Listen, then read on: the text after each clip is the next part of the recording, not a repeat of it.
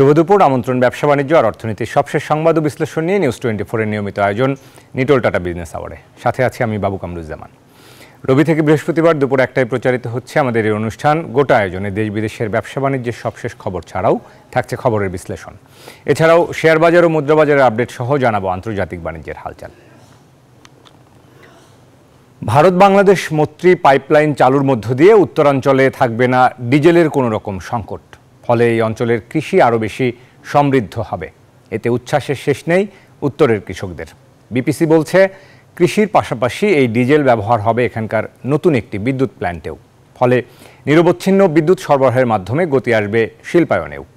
রেজাউল করিম মানিকের তথ্যে সাদ্দাম হোসেন ডেমির পাঠানো ছবিতে ডেস্ক রিপোর্ট। এখন বছর জুড়েই সচল থাকে উত্তরের কৃষি। প্রতি বছর প্রায় সাড়ে ষোলো লাখ টনের বেশি উদ্বৃত্ত খাদ্যশস্য উৎপাদিত হয় উত্তরাঞ্চলে। জমি তৈরি থেকে সেচ প্রতিটি ক্ষেত্রেই প্রয়োজন পড়ে ডিজেলের। এই জ্বালানির চাহিদা, যোগান ও দাম নিয়ে দুশ্চিন্তায় থাকতে হতো কৃষকদের। তবে ভারত বাংলাদেশ মৈত্রী পাইপলাইন চালুর মধ্য দিয়ে উত্তরাঞ্চলে থাকবে না ডিজেলের কোনো রকম সংকট। কৃষকরা বলছেন চাহিদা মতো ডিজেল পেতে এখন বেগ পেতে হবে না তাদের। ফলে কৃষি পণ্য উৎপাদনেও কোনো সংকটে পড়বেন না তারা। এখানে এসে তেল চাওয়া মাত্র তেল পাবো। আমাদের আর বাইরে ঘুর ধরন দিতে হবে না এটা আমাদের জন্য ভালো। আমরা দু তাড়াতাড়ি এই তেলটা পাই আমাদের আবাদ করার জন্য সুবিধা হবে। ডিজেলের চাহিদা ও যোগান সময় মতো মিললে কৃষিতে বৈপ্লবিক পরিবর্তন আনা সম্ভব বলেও মনে করেন কৃষকরা। আমরা তেলটা যেন দ্রুতর সাথে দ্রুততার সাথে সময় মতন পাই। তেলটা অতি তাড়াতাড়ি আসলে আমরা আমাদের উপকার হবে আমাদের জমি চাষাবাদ হবে খুবই আমরা লাভবান হব। কর্তৃপক্ষ বলছে কৃষি ছাড়াও নতুন একটি বিদ্যুৎ প্ল্যান্টেও ব্যবহার হবে ভারত থেকে আনা ডিজেল। ফলে উত্তরে নিরবিচ্ছিন্ন বিদ্যুৎ সরবরাহ করা গেলে শিল্প খাত এগিয়ে যাবে সমান তালে এই প্রকল্পের মাধ্যমে আমাদের এই অপচয়টা রোধ করা সম্ভব হবে। আর তেলের দামের ক্ষেত্রে কি প্রভাব পড়বে আমি জানি না তবে আমাদের এই অনেক সাশ্রয় হবে। ওভারঅল তেল ইম্পোর্ট করার ক্ষেত্রে আমাদের অনেক সাশ্রয় হবে। নর্থ বেঙ্গলের জন্য এটা জ্বালানি নিরাপত্তা এবং এলাকার কৃষি যোগাযোগ বিদ্যুৎ অন্যান্য সব ক্ষেত্রে শিল্প সব দিক থেকে একটা বড় ধরনের উপকারে লাগবে হ্যাঁ? উত্তরাঞ্চলের ষোলো জেলায় প্রতি বছর ডিজেল চালিত সেচ পাম্প ব্যবহার হয়ে থাকে প্রায় পাঁচ লাখ ষাট হাজার। Desk report news twenty four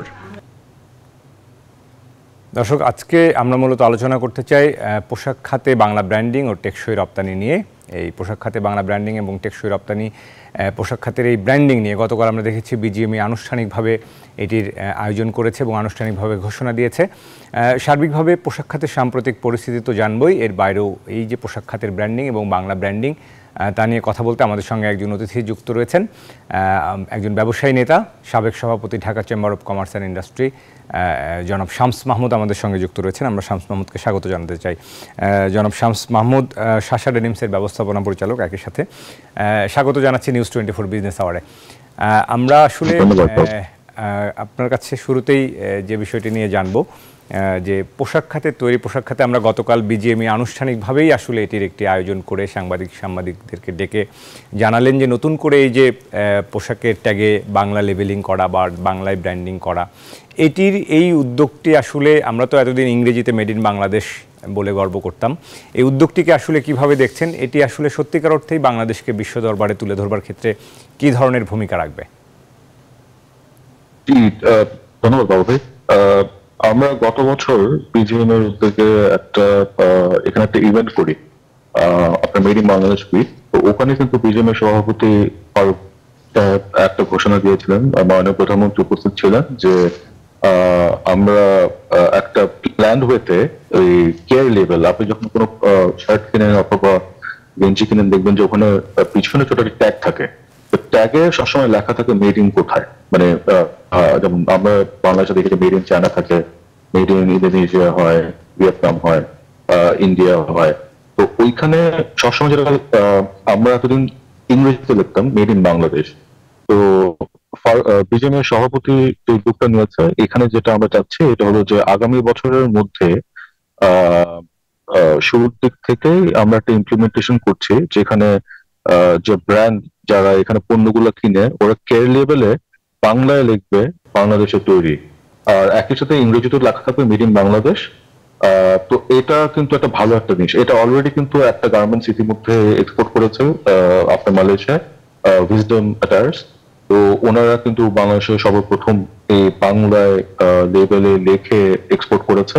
তো আমরা আশা করি যে এই উদ্যোগটা অন্য যারা আমরা সম্পৃক্ত যারা আছে আমরাও আহ, আমাদের বায়ারদেরকে আমরা বলব যে ওনারা যাতে ইন্টিগ্রেট করে। কারণ এটা আলটিমেটলি বায়ারদের যে স্পেসিফিকেশন থাকে ওখানে কিন্তু জিনিসটা আসতে লাগবে। তো আর যেহেতু বাংলাদেশ আর বিভিন্ন দেশের যে ব্র্যান্ড যারা এখান থেকে সোর্সিং করে থাকে আমাদের একটা পার্টনারশিপের মতন ডেভেলপ করছে এখন। তো আমরা আশা করি যে সবাই মিলে এই জিনিসটাকে যাতে ফিজিক্যালি দেখতে পারি আমরা যে সবাই এটা ব্যবহার করছে। আর এটা ব্র্যান্ডিং এর ক্ষেত্রে একটা বড় উদ্যোগ হবে।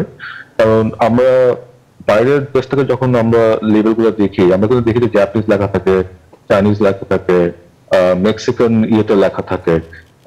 তো এটা একটা ইয়ে থাকবে স্পেশালি মানে বাংলাদেশের পরিচিতি। ইন বাংলাদেশ তো একটা আছেই কিন্তু বাংলাদেশের তৈরি হলে তাহলে আমাদের লোকালাইজড একটা স্ট্যাম্প থাকবে মানে ওয়ার্ল্ড ওয়াইড এই ইয়েতে। জি। নিশ্চয়ই নিঃসন্দেহে এটি বাংলাদেশকে আসলে বিশ্ব দরবারে আরও বেশি ব্র্যান্ডিং করতে সহায়তা করবে, যেটি আপনি বলছিলেন। আমরা তৈরি পোশাক খাতের সাম্প্রতিক পরিস্থিতি, রপ্তানি পরিস্থিতি, তৈরি পোশাক খাতে কতটা সুদিন এবং আগামী দিনের এই যে নতুন করে সবুজায়নের ক্ষেত্রে বলা হচ্ছে কার্বন এমিশন কমিয়ে আনার কথা, উৎপাদন পর্যায়ে কীভাবে আমরা টেকসই উৎপাদন করতে পারি অ্যাপারেল এক্সচেঞ্জ সামিট হয়ে গেল সেখানেও এই ধরনের অনেকগুলো প্ল্যানারি সেশন হয়েছে। এই বিষয়গুলো নিয়ে জানব। তার আগে আমরা একটু আজকে সচিবালয়ে আসলে বাণিজ্যমন্ত্রী রমজানের দ্রব্যমূল্য নিয়ে ব্রিফ করেছেন। সেখানকার একটু ছোট্ট করে পরিস্থিতিটা জেনে আসব। আমরা আমাদের সহকর্মী ইয়াস শাহনাজ ইয়া- ইয়া- ইয়াসমিন সেখানে রয়েছেন। আমরা রমজানে আমরা জানি এরই মধ্যে জিনিসপত্রের দাম সহনীয় রাখতে সরকার নানাভাবে চেষ্টা করছে। নিত্যপণ্যের দাম নিয়ে ভয় পাওয়ার কারণ নেই। সরকারের কাছে যে মজুদ আছে তাতে কোনোভাবেই দাম বাড়বে না। দ্রব্যমূল্য বাজার পরিস্থিতি পর্যালোচনা সংক্রান্ত টাস্কফোর্সের ষষ্ঠ বৈঠকে সকালে এসব কথা বলেছেন বাণিজ্যমন্ত্রী রমজানে অতি প্রয়োজনীয় পণ্য চিনি যথেষ্ট মজুদ আছে বলে জানিয়েছেন। চিনির দাম বাড়তির কারণে চিনির ওপর থেকে ভ্যাট কমানো হয়েছে। সারা দেশ থেকে পণ্য আনার সময় পথে চাঁদাবাজি বন্ধ করতে আইন শৃঙ্খলা বাহিনীকে নির্দেশ দেওয়া হয়েছে বলেও জানান বাণিজ্যমন্ত্রী বলেছেন দেশে প্রচুর ভোজ্য তেল রয়েছে। মন্ত্রী জানান, রমজানে এক কোটি দরিদ্র পরিবারকে মাসে দুইবার কম দামে টিসিবির পণ্য দেওয়া হবে। এখন দেয়া হয় ছয় ছয় মাসে একবার করে এটি যেটি দুইবার করা হবে, এটির প্রভাব বাজারে পড়বে বলে আশা প্রকাশ করেছেন। আর মুরগির দাম এখন বাড়তির দিকে, এটা যাতে সহনীয় থাকে রমজান মাসে, সেজন্য মৎস্য প্রাণী সম্পদ মন্ত্রণালয়কে অনুরোধ করা হয়েছে। আমরা আমাদের সহকর্মী শাহনাজ ইয়াসমিন আজকের এই টাস্কফোর্স বৈঠকের সার্বিক পরিস্থিতি জানাবেন। শাহনাজ ইয়াসমিন আপনি সকাল থেকে সেখানে ছিলেন। আমরা অনেকগুলো বিষয় জানছিলাম। বাণিজ্যমন্ত্রী আসলে রমজানকে কেন্দ্র করে বেশ কিছু আশ্বাস দিয়েছেন। সত্যিকার অর্থে সেটির প্রতিফলন কতটা ঘটবে সেটি শেষ পর্যন্ত ভোক্তারা বলতে পারবেন। আপনি যদি একটু জানান যে আসলে রমজানে মূলত কোন বার্তাগুলো দিয়েছেন বাণিজ্যমন্ত্রী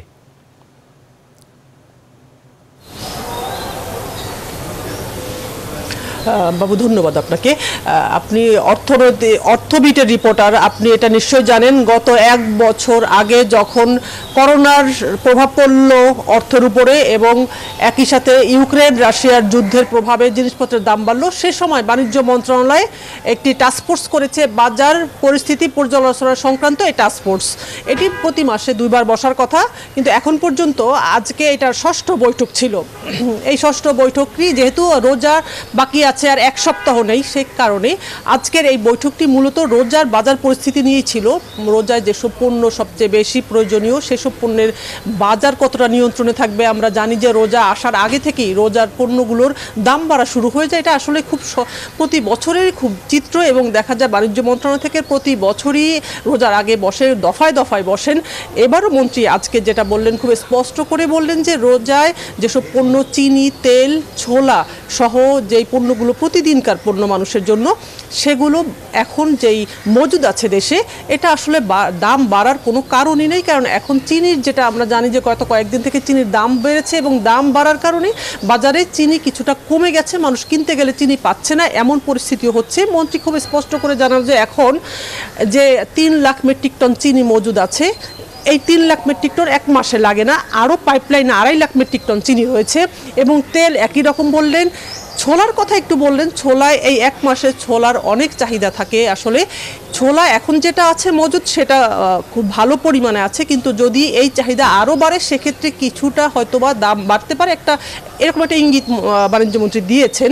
কিন্তু বাকি যেসব পণ্যের কথা জানালেন, যেমন মুরগির দাম বাড়া, গরুর মাংসের দাম বাড়া, এবং প্রতিদিনকার যে সবজি, মাছ আছে, সেগুলোর দামও কিন্তু বাড়তির দিকে। এবং রোজার প্রথম দিকে মানুষ ভয় পাচ্ছে যে এটা আরও কতটা বাড়বে। মৎস্য প্রাণী সম্পদ মন্ত্রণালয় আসলে এই মুরগির মাংস, গরুর মাংসের দামগুলো নিয়ন্ত্রণ করে। তারপরও যেহেতু বাণিজ্য মন্ত্রণালয় অনেক কিছুই তাদের সাথে সংশ্লিষ্টভাবে কাজ করে, সেক্ষেত্রে বাণিজ্য মন্ত্রী সেটা বললেন যে তারা দেখলেও কৃষি মন্ত্রণালয়কে, বাণিজ্য মন্ত্রণালয় থেকে আসলে বলল যে গতকালকে আমরা কৃষি মন্ত্রণালয়ের সাথে একটি বৈঠক করেছি যাতে যেসব পণ্যগুলো সারা দেশ থেকে আসে ট্রাকে করে, এগুলো কৃষি মন্ত্রণালয় দাম নিয়ন্ত্রণ করে। কিন্তু যেহেতু একটা বড় অভিযোগ সবসময় থাকে যে এই পণ্যগুলো ঢাকার বাইরে থেকে ঢাকার ভেতরে আসার সময় ট্রাকে করে যখন আসে, পথের মধ্যে চাঁদাবাজির একটা সুযোগ সবসময় নেওয়া হয় এবং এই চাঁদাবাজির কারণে এই পণ্যগুলোর দাম ঢাকায় এসে অনেক বেড়ে যায়। এটা কৃষিমন্ত্রীও অনেকবার এটা বলেছেন যে এই জিনিসটা তারা কখনো কখনো তাদের নিয়ন্ত্রণের বাইরে থাকে। আসলে কি কারণে নিয়ন্ত্রণের বাইরে এটা তারাই বলতে পারবেন? কিন্তু মানুষ আসলে এটার জন্য ভুক্তভোগী। মানুষ সেটাকে বেশি দামে কিনে খায়। সেটা নিয়ে বাণিজ্যমন্ত্রী বললেন যে আসলে এটার জন্য খুব ভালো করে মনিটরিং করা হচ্ছে। স্বরাষ্ট্র মন্ত্রণালয়কে বলা হয়েছে যাতে আইন শৃঙ্খলা বাহিনী অন্তত এক মাসের জন্য মানুষ যাতে জিনিসপত্র কিনতে গেলে স্বস্তিতে থাকে সেটার জন্য একটু বেশি মনিটরিং করা হয়। আইন শৃঙ্খলা বাহিনী বেশি মোতায়েন করা হয় রাস্তাঘাটে। এটা কম- এই বিষয়টা উনি আশ্বস্ত করলেন যে আসলে বাড়বে না। এবং মুরগির দাম যেটা এখন যেটা বললেন বাড়তির দিকে এটা যাতে না কবে যাতে না বাড়ে আর একই রকম থাকে। সেটার বিষয় মৎস্য প্রাণী সম্পদ মন্ত্রণালয়ের সাথে তাদের বৈঠক আগামীকাল সেটা উনি বললেন। গরুর মাংসের দাম আমরা জানি যে গত রোজায় গরুর মাংস এবং একই সাথে দুধ ডিমের কম দামে দেওয়ার জন্য ট্রাকে করে সারা দেশে না ঢাকা শহরেই এবং সিটি কর্পোরেশনগুলোতে চট্টগ্রাম শহরে সিলেট শহরেও মৎস্য প্রাণী সম্পদ মন্ত্রণালয় থেকে ট্রাকে করে এই তিন চারটি পণ্য বিক্রি করেছে এবং পাঁচশো টাকা করে গরুর মাংস বিক্রি করেছিল। সেই বিষয়টি তো একটা আছে মৎস্য প্রাণী সম্পদ মন্ত্রণালয় থেকে। এর বাইরে যাতে গরুর মাংসের দাম না বাড়ে সেটার ব্যাপারেও বাণিজ্য মন্ত্রণালয় মনিটরিং করছে উনি বললেন সেটা। এবং একটা বিষয় যেটা জানানো হয়েছে যে আসলে সরকার চায় কোনোভাবেই জিনিসপত্রের দাম না বাড়ানোর। কিন্তু তারপরও একটা কথা উনি বললেন যে বাণিজ্য মন্ত্রণালয় সব কিছু অনেক সময় মনিটরিং করতে পারে না তাদের কিছু সীমাবদ্ধতা আছে। বাণিজ্য মন্ত্রীর কাছে খুব স্পষ্ট প্রশ্ন ছিল যে এটা এইরকম মিটিং সবসময় বাণিজ্য মন্ত্রণালয়ে বসে হয় কিন্তু সেটার প্রভাব বাজারে মানুষ খুব একটা দেখে না গিয়ে এটার কারণ বাণিজ্য মন্ত্রণালয় তদারকির অভাব কিনা? সেটা উনি বললেন যে আসলে বাণিজ্য মন্ত্রণালয়ের লোক বলের সংকট এটা খুব কমন একটা কথা তারা বলেন যখন কোনো কিছু নিয়ন্ত্রণে থাকে না যে লোক সব বলের সংকটে তারা হয়তো সবসময় পারেন না কিন্তু তারা চাচ্ছেন কিন্তু এই- এইটা খুব ভালোভাবে বললেন যে আসলে দাম বাড়ার কোনো রকমেরই কারণ নাই যেই মজুদ আছে। মজুদ যখন কম থাকে তখন দাম বাড়ে। যেহেতু এই চিনি ছোলা তেল এগুলোর মজুদ আছে সেহেতু দাম বাড়বে না। কিন্তু তারপরও কিছু মানুষ ব্যবসায় বেশি লাভের আশায় এই সময় করে থাকেন, জি। দাম বাড়ানোর চেষ্টা করে সেইটার জন্য উনি মনিটরিং করবেন। সেটাও জানালেন আসলে কতটা মনিটরিং করলে বাজার পরিস্থিতি স্বাভাবিক হবে সেটা ভোক্তারা যখন বাজারে যাবে তারাই সেটা বুঝতে পারবে। সেটা হয়তো দেখার জন্য রোজা তো আহ, শুরু হবে যখন আগামী সপ্তাহ থেকে সেটা দেখাই যাবে যে কি কতটা আসলে কমলো। আরেকটা বিষয় যে চিনির দামের বিষয় যেটা ট্যারিফ কমানো হয়েছিল যখন দাম বেড়ে গেল এটা পাঁচ ভাগ কমেছিল কিন্তু সেটা সেটা প্রভাব বাজারে রোজার প্রথম সপ্তাহেই প্রভাব পড়বে বাজারে এবং এটার প্রভাবটা যাতে না বাড়ে সেটার জন্য আগামীকাল থেকে বাণিজ্য মন্ত্রণালয় থেকে খুব কঠোরভাবে তদারকি করা হবে। জি ইয়াসমিন ইয়াসমিন আপনাকে অসংখ্য ধন্যবাদ। আমরাও আশা করব যে রমজানে সাধারণ মানুষ স্বস্তিতে থাকবেন। ভোক্তাদেরকে শুধুমাত্র আশ্বাস নয় সেটির বাস্তবতা দেখ- যাবে। সেই প্রত্যাশা রাখব। আপনাকে অসংখ্য ধন্যবাদ আমাদের সঙ্গে যুক্ত থাকবার জন্য। দর্শক, আমাদের সঙ্গে সহকর্মী শাহনাজ ইয়াসমিন যুক্ত ছিলেন, জানাচ্ছিলেন বাণিজ্যমন্ত্রীর সবশেষ যে ষষ্ঠ টাস্কফোর্স বৈঠক হলো রমজানকে ঘিরে তার সবশেষ হালনাগাদ পরিস্থিতি। আমরা এই মুহূর্তে আবারও আলোচনায় ফিরতে চাই। তার আগে আমরা বিজিএমএতে যেটি বলছিলাম যে গতকাল যে অনুষ্ঠানটি হলো, এই পোশাকের ব্র্যান্ডিং নিয়ে সেটি একটু দেখে নিব। নন কটন এবং রিসাইকেল পোশাকের রপ্তানি বাড়াতে সরকারের নীতি সহায়তা চেয়েছে বাংলাদেশ পোশাক প্রস্তুতকারক ও রপ্তানিকারক সমিতি বিজিএমইএ এসব পণ্য রপ্তানিতে শুল্কমুক্ত সুবিধা চেয়েছে সংগঠনটি। উত্তরায় বিজিএমইএ কমপ্লেক্সে আয়োজিত সংবাদ সম্মেলনে সংগঠনটির সভাপতি ফারুক হাসান বলেন রিসাইকেল ও ঝুট থেকে তৈরি পোশাক রপ্তানি করেই বছরে পাঁচ বিলিয়ন ডলার আয় করা সম্ভব। তিনি বলেন, মূল্যস্ফীতির কারণে ইউরোপ ও যুক্তরাষ্ট্রে পোশাকের চাহিদা কমে গেছে। তাই সেসব দেশ থেকে কমেছে অর্ডারের পরিমাণও। তবে অপ্রচলিত বাজারে রপ্তানি বাড়ছে। আমাদের প্রধান বাজারগুলোতে, বিশেষ করে ইউরোপ এবং যুক্তরাষ্ট্রে মুদ্রাস্ফীতি রেকর্ড পর্যায়ে পৌঁছেছে। এসব উন্নত দেশের ভোক্তারা ভোগ্যপণ্যের ব্যয় কমিয়ে দিয়েছে। ফলে কমে আসছে পোশাকের চাহিদা। তাই পোশাকের অর্ডার কমিয়ে দিয়েছে আমদানিকারী প্রতিষ্ঠানগুলো। তবে অফ প্রাইস বা ডিসকাউন্টের পণ্যের দিকে ক্রেতাদের আগ্রহ বাড়ছে। দর্শক, আমরা শুনছিলাম বিজিএম এর সভাপতি যেটি বলছিলেন, আমরা আজকে মূলত আলোচনা করছি সে বিষয় নিয়েই, যে পোশাকের আগামী দিনের টেকসই উৎপাদন এবং একই সঙ্গে এই যে পোশাকের ব্র্যান্ডিং, সেই ব্র্যান্ডিং বিষয় নিয়ে কথা বলছি, বাংলা ব্র্যান্ডিং। আমাদের সঙ্গে যুক্ত রয়েছেন জনাব শামস মাহমুদ। শামস মাহমুদকে আরও একবার স্বাগত জানাতে চাই। শামস মাহমুদ, আপনাকে অসংখ্য ধন্যবাদ, আপনি আমাদের সাথেই রয়েছেন। আমরা আসলে এরই মধ্যে বাণিজ্য মন্ত্রণালয়ের তথ্য জানছিলাম সবশেষ যে বৈঠকটি আজকে অনুষ্ঠিত হলো সার্বিকভাবে আসলে রমজানে মানুষকে স্বস্তি দিতে। আমরা বিজিএমের সভাপতির কথাও নিশ্চয়ই আপনি শুনতে পেয়েছেন আশা করি। সার্বিকভাবে আমি এখন একটু জানতে চাইব যে আমরা এই পোশাকের বাংলা ব্র্যান্ডিং নিয়ে আপনি বলেছেন এই মুহূর্তে আপনি উদ্যোক্তা হিসেবে কি অবস্থা দেখছেন? আমাদের আসলে ইউরোপের বাজারে আমেরিকার বাজারে আমাদের রপ্তানি অর্ডারের আসলে সার্বিক পরিস্থিতি কি? আপনি আপনার নিজের অভিজ্ঞতা থেকেও যদি বলেন। আমরা দেখছি যে রেকর্ড ইনফ্লেশন হ্যাঁ। তো আমেরিকা ইনফ্লেশন কন্ট্রোল করার জন্য যেটা করেছে, ওটা সেন্ট্রাল ব্যাংক থেকে আপনার বরিং কস্ট যে ইন্টারেস্ট রেটটা বাড়িয়ে দেওয়া হয়েছে। তো যখন ইন্টারেস্ট রেট বাড়িয়ে দেয়, যারা ধরেন ওখানে যারা বাসা কিনে, ওরা ব্যাংকের একটা লোন নিয়ে কিনে, তো যখন লোনের অ্যামাউন্ট ইন্টারেস্টটা বেড়ে যায়, তখন কিন্তু ওদের যে ডিসপোজেবল ইনকাম যে টাকা দিয়ে ধরেন ক্রয় করে ওরা জিনিসপাতি, ওটার অ্যামাউন্ট কিন্তু কমে যায়। তো ওটার প্রভাবে যেটা হয় যে আপনার ডিমান্ড কিছুটা কমে আসে। তো আমরা লক্ষ্য করছি যে মানে আপনার ইউক্রেন যুদ্ধের পরে যেভাবে আমাদের ডিমান্ড পিক করেছিল, আর আমরা অনেকদিন ধরে বলে আসছি যে সামনে কিন্তু একটু স্লোডাউন হবে। তো ওটার কিছুটা প্রভাব আমরা লক্ষ্য করছি। কিন্তু এটার পাশাপাশি ইউরোপ, আমেরিকায় কিছুটা অর্ডার কম হলেও আমাদের নতুন যে মার্কেটগুলো, যেগুলো নন ট্রেডিশনাল মার্কেট যেমন অস্ট্রেলিয়া বলেন, জাপান বলেন সাউথ কোরিয়া বলেন ইন্ডিয়া বলেন, ওসব দেশে কিন্তু আমাদের রপ্তানি আমরা লক্ষ্য করছি যে রিসেন্টলি এটা কিন্তু বৃদ্ধি পাচ্ছে। স্পেশালি ভারতের সাথে যে আমরা এক্সপোর্ট করে থাকি, ওই সেফা চুক্তির পরে ওইটার কিন্তু আমরা কিছু সুফল পাচ্ছি। তো সব মিলিয়ে ব্যবসা বাণিজ্যে মানে যেটা হয় যে আমরা একটা বাধা অতিক্রম করি, কিন্তু তারপরে আরও দেখি যে দুটা বাধা সামনে আসছে। কিন্তু কোনোভাবে আমরা মানে সব, সবার সহায়তায় কিন্তু আমরা চাচ্ছি যে এই শিল্পটাকে এগিয়ে নিতে আর এখানে আরেকটা জিনিস হলো যে আমাদের কিন্তু কস্ট অফ ডুইং বিজনেস কিন্তু বেড়ে গেছে, কারণ আমরা জানি যে জ্বালানির দাম বেড়েছে এখানে এট দ্য সেম টাইম আমরা দেখছি যে ইন্ডিয়াতে যেমন কিছু গতকাল একটা পদক্ষেপ নেওয়া হয়েছে, ওখানে টেক্সটাইল শিল্পকে ইয়ে করার জন্য, যাতে এনকারেজ করার জন্য অলমোস্ট ফোর থাউজেন্ড ক্রোর রুপির একটা প্রোগ্রাম নিয়েছে সাতটা প্রদেশে। তো এইগুলা কিন্তু আলটিমেটলি আমরা মানে উই হ্যাভ কেয়ারফুল যাতে আমরা এমন কোন সিচুয়েশনে না যাই যেখানে আমাদের কম্পিটিটিভ অ্যাডভান্টেজ এটা যাতে না হারায়। জি। শামস মাহমুদ অনেক ধন্যবাদ। এক কথায় একটু আমরা আজকে অনুষ্ঠানের সময়ও শেষ। আসলে শেষও করব। আপনি আমাদের সঙ্গে অনেক ধৈর্য নিয়ে বসেছিলেন। শেষ একটু মন্তব্য জানতে চাইব যে আমাদের আসলে এই মুহূর্তে জ্বালানি সংকটটাকে কীভাবে দেখছেন? যে জ্বালানির সংকটটা কমে আসছে কিনা? জ্বালানি সংকটে দেখেন এখানে জিনিস হলো যে আজকে যে আপনি যে রিপোর্টটা করলেন শুরুতে যে রিপোর্টটা ছিল যে পাইপলাইনে এখন ডিজেল যাচ্ছে নর্দার্ন রিজনে। এটা কিন্তু ভালো। কানেক্টিভিটি কিন্তু আমাদের লাগবে। কারণ নর্থ বেঙ্গলে আগে একটা প্রবলেম ছিল যে আপনার যে ক্যারেজ কস্ট এই ডেপো গুলোর থেকে নেওয়ার সময় অনেক পিলফারেজ হতো ইয়ে হতো তারপর অনেক শর্টেজ দেখতাম আমরা সবসময় স্পেশালি ইরিগেশনের সময় যখন মৌসুম থাকতো ধান চাষের ইয়েতে তখন কিন্তু দেখতাম যে সবসময় শর্টেজ হতো। কিন্তু এখন আশা করি এইসব পদক্ষেপের জন্য কানেক্টিভিটির কারণে কিন্তু ওখান থেকে এটা বের হতে পারবে প্লাস ইন্ডাস্ট্রিয়ালাইজেশনও ওখানে হবে। কিন্তু সেইং দ্যাট এখানে কিন্তু ভেরি কেয়ারফুল যেমন আমরা বলেছিলাম যে জ্বালানির দাম আমরা বুঝি যে ভর্তুকি সরকার কতদিন দিবে? এখান থেকে বের আসতে লাগবে। হ্যাঁ? কিন্তু এট দ্য সেম টাইম তখন কিন্তু বলা হয়েছিল যে আন্তর্জাতিক বাজারে যে দাম থাকবে ওটা সেটা সমন্বয় করা হবে। এখন কিন্তু বর্তমানে যে রেটগুলো আছে এটা কিন্তু অনেক কমে গেছে। ধরেন ডিসেম্বর মাস থেকে। কিন্তু এটা কোনো সমন্বয় যেটা রেটেড অ্যাভারেজ একটা প্রাইস আমরা চেয়েছিলাম যেটার এগেনস্টে ধরেন প্রাইস বাড়াবেন কমাবেন ওটা কিন্তু আজকে পর্যন্ত আমরা কোনো উদ্যোগ দেখিনি।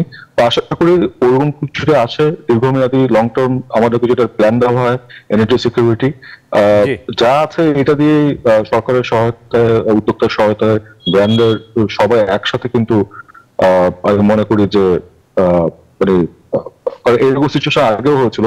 এর থেকে ভয়াবহ সিচুয়েশন ছিল। দুই হাজার আটে। আমি যখন প্রথম বিজনেস জয়েন করি তখন কিন্তু ফ্যাক্টরিতে আমার দিনে বারো বার চোদ্দ বার কারেন্ট যেত। ওই সিচুয়েশনে কিন্তু আমরা এখন নেই। এখন যেটা হয় হ্যাঁ কম থাকে। রাস্তাগুলো কম থাকে ওইভাবে আমরা এখন আর যেহেতু অর্ডারের ফ্লো কমে গেছে স্পেশালি পোশাক খাতে আমরা কিন্তু ওইভাবে প্ল্যান করে এখন এগোচ্ছি। জি। আমরাও আশা করব যে এই বিষয়গুলোর আসলে উন্নতি হবে এবং সমন্বিত আসলে উদ্যোগ এবং সমন্বিত পদক্ষেপ এখানে প্রয়োজন। সরকারের দিক থেকে নীতি সহায়তা, যেটি আসলে বিজিএমের সভাপতি বলছিলেন। শামস আহমদ অসংখ্য ধন্যবাদ জানাই আজকের এই আলোচনায় আপনি সময় দিয়েছেন আপনার মূল্যবান পর্যবেক্ষণ তুলে ধরেছেন। অসংখ্য ধন্যবাদ, ভালো থাকবেন। আবারও আশা করি আপনাকে নিউজ টোয়েন্টি ফোর বিজনেস অ্যাওয়ার্ডের পাশে পাবো। দর্শক আমাদের সঙ্গে নিটল টাটা বিজনেস অ্যাওয়ার্ডে যুক্ত ছিলেন জনাব শামস মাহমুদ, ঢাকা চেম্বারের সাবেক সভাপতি। কথা বলছিলেন তৈরি পোশাকের বাংলা ব্র্যান্ডিং এবং একই সঙ্গে বর্তমান যে সাম্প্রতিক পরিস্থিতি, তা নিয়ে নিটল টাটা বিজনেস আওয়ারের সময় হলে একটা বিরতি নেবার ফিরছে শেয়ার বাজার আপডেট ও ব্যবসা বাণিজ্যের খবর নিয়ে। আশা করি দর্শক বিরতির আবারও স্বাগত জানাচ্ছি নিটল টাটা বিজনেস আওয়ারে এবারে জানাব শেয়ার বাজারের খবর।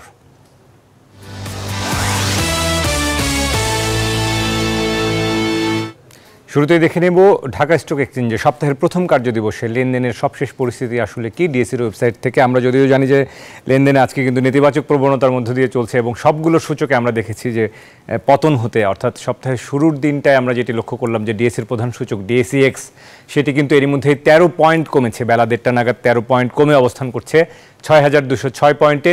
অন্যদিকে ডিএসসিএস ইন্ডেক্স সরিয়া সূচক যেটি, সেখানে পাঁচ পয়েন্ট কমে অবস্থান করছে এক হাজার তিনশো একান্ন পয়েন্টে। এবং ডিএস থার্টি যে সূচক রয়েছে, বাছাই করা কোম্পানির যে সূচক সেখানে তিন পয়েন্ট কমে অবস্থান করছে দুই হাজার দুশো পনেরো পয়েন্টে। সার্বিকভাবে আমরা যেটি লক্ষ্য করছিলাম, বলছিলাম যে সবগুলো সূচকের কিন্তু আজকে পতন হয়েছে এবং লেনদেনের কথাও যদি বলি, সেটি আমরা দেখতে পাচ্ছিলাম গত সপ্তাহে, অর্থাৎ লেনদেন এক ধরনের ভাটা চলছে সাড়ে তিনশো চারশো কোটির মধ্যেই সেই লেনদেন ঘুরপাক খাচ্ছে। আজকেও কিন্তু এখন পর্যন্ত লেনদেন হয়েছে তিনশো বিয়াল্লিশ কোটি তেষট্টি লাখ টাকা। অর্থাৎ দিন শেষে যেটি হয়তো সর্বোচ্চ চারশো কোটি গিয়েতে গিয়ে ঠেকতে পারে। এবং হাতবদল হওয়া শেয়ার ও মিউচুয়াল ফান্ড ইউনিটের মধ্যে আমরা দেখতে পাচ্ছি, আজকে মাত্র সতেরোটি দাম বাড়ার তালিকায় নাম লেখাতে পেরেছে এবং দাম কমেছে উননব্বইটির এবং অপরিবর্তিত রয়েছে একশো আটানব্বইটি শেয়ার ও মিউচুয়াল ফান্ড ইউনিটের। তো এই এরকম একটি স্লোথ লেনদেনের পরিস্থিতি নিয়ে পর্যালোচনা করতে চাই। আমরা পর্যালোচনা করতে আমাদের সঙ্গে একজন অতিথি যুক্ত রয়েছেন। আমরা দেখে নিতে চাই আমাদের সঙ্গে যুক্ত রয়েছেন দ্য ডেইলি স্টার পত্রিকার সিনিয়র রিপোর্টার জনাব আহসান হাবিব রাসেল আমাদের সঙ্গে যুক্ত রয়েছেন। আমরা নিটল টাটা বিজনেস আওয়ার্ডে স্বাগত জানাই জনাব আহসান হাবিব রাসেল। আমরা যেটি, আপনার কাছে যেটি জানতে চাইব, আপনি পুঁজিবাজার নিয়ে নিয়মিত প্রতিবেদন করেন। আমরা বাজারের পরিস্থিতি যেটি লক্ষ্য করছি যে আজকের দিনের পরিস্থিতি যদি একটু ধরে বলেন যে আজকের লেনদেনের যে পরিস্থিতি, সবগুলো সূচকের পতন, লেনদেনের যে পরিস্থিতি, সার্বিকভাবে গত কয়েক সপ্তাহে আমরা দেখতে পাচ্ছি বিনিয়োগকারীদের মধ্যে এক ধরনের আস্থা, অনাস্থার দোলাচল। আপনার কাছে আসলে কোন বিষয়গুলো আসলে বাজারের এই মুহূর্তে সংকট মনে হচ্ছে?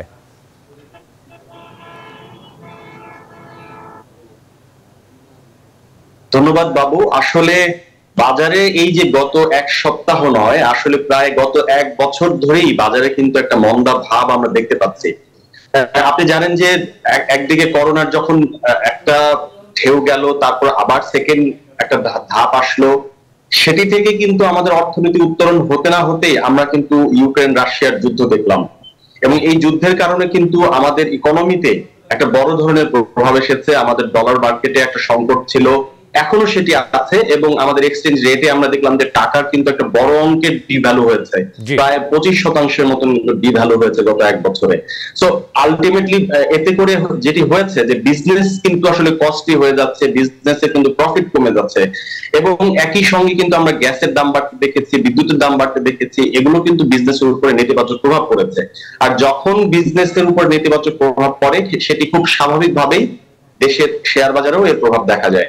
আরেকটি বড় বিষয় বলে রাখা দরকার যখন আসলে ডলারের ডিভ্যালু হয় টাকার ডিভ্যালু হয় ডলারের বিপরীতে এবং সেটি যদি আরও হবার আশঙ্কা থাকে তখন কিন্তু শেয়ার বাজারে এর নেতিবাচক প্রভাব পড়ে। কারণ হচ্ছে যে বিদেশি বিনিয়োগকারীদের মধ্যে কিন্তু তখন আমরা বড় অঙ্কের শেয়ার বিক্রির প্রবণতা দেখতে পাই।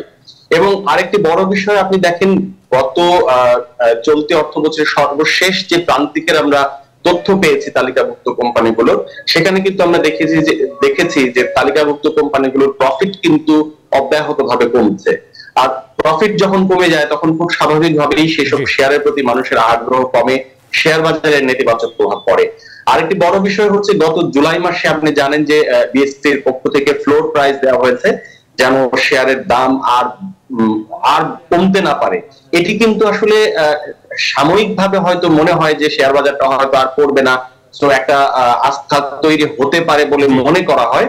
কিন্তু ইন দ্য লং রান এটা কিন্তু আসলে বাজারের উপর নেতিবাচক প্রভাব পড়ে। বিশেষ করে বিদেশি বিনিয়োগকারী প্রাতিষ্ঠানিক বিনিয়োগকারী যারা বড় অঙ্কের বিনিয়োগ করেন তারা কিন্তু কখনোই এমন বাজার চান না যে বিনিয়োগ করলে পরে শেয়ার বিক্রি করা যাবে না বা একটা ইলিকিউড মার্কেট তো তারা কিন্তু এই বাজার থেকে তাদের শেয়ার যতটা সম্ভব গুটিয়ে নিয়েছেন বা গুটিয়ে নিচ্ছেন আহসান হাবিব অসংখ্য ধন্যবাদ জানাই আপনাকে। আপনি সংক্ষেপে অনেকগুলো সুনির্দিষ্ট করে চমৎকার পর্যবেক্ষণ তুলে ধরেছেন। আহ, আপনি ভালো থাকবেন। আবারও পরবর্তী কোনো অনুষ্ঠানে নিশ্চয়ই আপনাকে পাশে পাবো।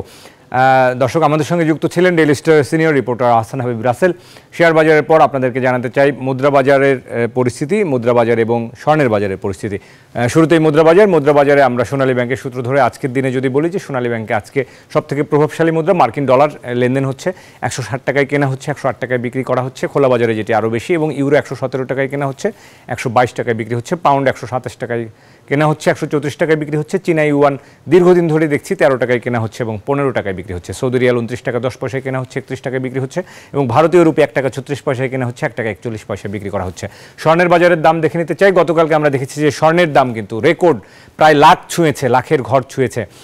অর্থাৎ সব থেকে ভালো মানের বাইশ ক্যারেটের যে স্বর্ণ রয়েছে, সেটির গ্রাম প্রতি দাম এখন আট হাজার চারশো সত্তর টাকা এবং ভরি প্রতি আটানব্বই হাজার সাতশো চুরানব্বই টাকা। এবং একুশ ক্যারেটের স্বর্ণ আট হাজার পঁচাশি টাকা এবং চুরানব্বই হাজার টাকা ভরি এবং আঠারো ক্যারেটের স্বর্ণ ছয় হাজার নশো ত্রিশ টাকা গ্রাম, আশি হাজার আটশো বত্রিশ টাকা ভরি। সনাতন স্বর্ণ পাঁচ হাজার সাতশো সত্তর টাকা গ্রাম, সাতষট্টি হাজার তিনশো এক টাকা ভরি। এক ভরি সমান আমরা জানি এগারো দশমিক ছয়শো চার গ্রাম। আমরা রূপার দাম দেখে নিতে চাই। রূপার দাম, আমরা গতকালকে স্বর্ণের যখন ব্যাপক পরিবর্তন হয়েছে, রূপার দামে কোনো পরিবর্তন লক্ষ্য করিনি। আগের দামে বিক্রি হচ্ছে, অর্থাৎ বাইশ ক্যারেটের রূপা একশো সাতচল্লিশ টাকা গ্রাম, সতেরোশো চোদ্দ টাকা ভরি, একুশ ক্যারেটের রূপা একশো চল্লিশ টাকা গ্রাম, ষোলোশো বত্রিশ টাকা ভরি, আঠারো ক্যারেটের রূপা একশো বিশ টাকা গ্রাম, তেরোশো নিরানব্বই টাকা ভরি এবং সনাতন যে রূপা রয়েছে, সেটি নব্বই টাকা গ্রাম, এক হাজার পঞ্চাশ টাকা ভরি। এই ছিল আমাদের কাছে স্বর্ণ, রূপা এবং মুদ্রা বাজারের আপডেট ও দরদাম। দর্শক নিটল টাটা বিজনেস আওয়ারের সময় হলো আরও একটা বিরতি নেবার। ফিরছি দেশ ও বিশ্ব বাণিজ্যের খবর নিয়ে আসা। দর্শক, আরও একবার স্বাগত জানাচ্ছি নিটল টাটা বিজনেস আওয়ারে সাথে আছি আমি বাবু কামরুজ্জামান। এবারে জানাব বিশ্ব বাণিজ্যের খবর।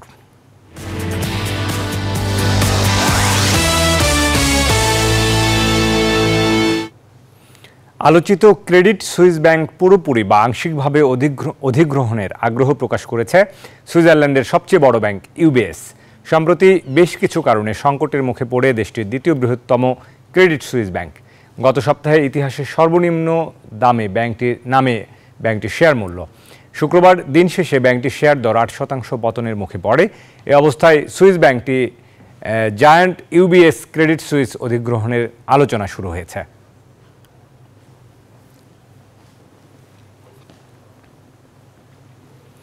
দর্শক, এই ছিল নিটল টাটা বিজনেস আওয়ার্ডের এখনকার আয়োজন। ব্যবসা বাণিজ্যের সবশেষ খবর ও খবরের বিশ্লেষণ জানতে চোখ রাখুন রবি থেকে বৃহস্পতিবার দুপুর একটায় বিজনেস আওয়ারে। এছাড়াও রাত নয়টায় বিজনেস এক্সপ্রেস দেখার আমন্ত্রণ জানিয়ে এখানে শেষ করছি। এতক্ষণ সাথে থাকার জন্য সবাইকে ধন্যবাদ।